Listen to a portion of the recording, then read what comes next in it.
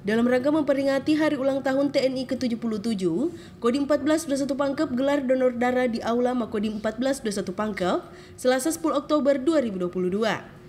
Tak hanya donor darah, Kodim juga melaksanakan beberapa kegiatan, yakni ziarah makam pahlawan di TMP, pemberian makanan tambahan untuk anak stunting, anjang sana ke panti asuhan dan doa bersama.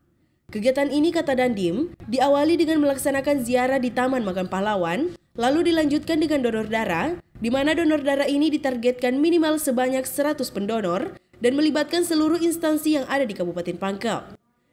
Tambah Hengki, ia juga memberikan makanan tambahan untuk anak stunting di Kabupaten Pangkep dan beberapa dari mereka memberikan secara langsung dan juga ada beberapa yang langsung dikunjungi di wilayah masing-masing.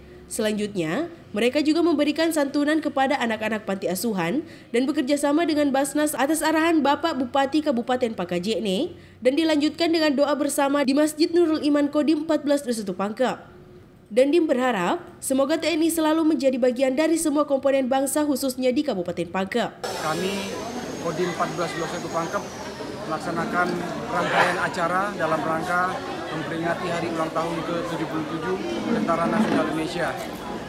Adapun kegiatan hari ini kami awali dengan melaksanakan ziarah ke Taman Makam Pahlawan dan dilanjutkan dengan pelaksanaan donor darah yang sedang berlangsung di mana donor darah ini kami targetkan minimal 100 orang dan ini melibatkan seluruh instansi yang ada di Kabupaten Pangkep seperti dari Polres, kemudian BPBD, Dinas Perhubungan, dan OPD-OPD lain uh, di jajaran Kabupaten Pangkep.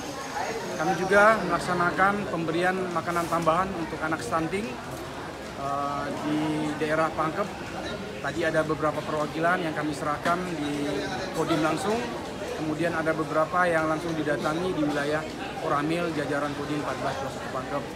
Selanjutnya kami juga melaksanakan pemberian uh, santunan kepada anak-anak panti asuhan yang kami kerjasamakan dengan Basnas Kabupaten Pangkep atas arahan Bapak Bupati, termasuk juga pemberian makanan tambahan, anak stunting.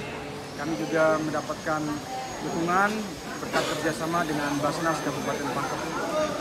Kegiatan rangkaian acara hari ulang tahun TNI ke 77 tahun 2022 ini uh, akan dilanjutkan besok hari yaitu puncaknya melaksanakan upacara peringatan hari ulang tahun di Tribun Citramas dan insya Allah pada tanggal 7 akan dilaksanakan jalan santai bersama di Tribun Citramas.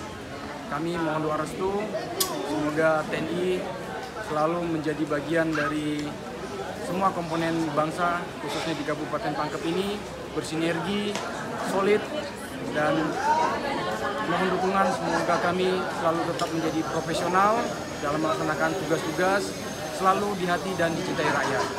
Demikian Dirgahayu TNI. Dari Kabupaten Pangkep, Sulawesi Selatan, Pangkep TV.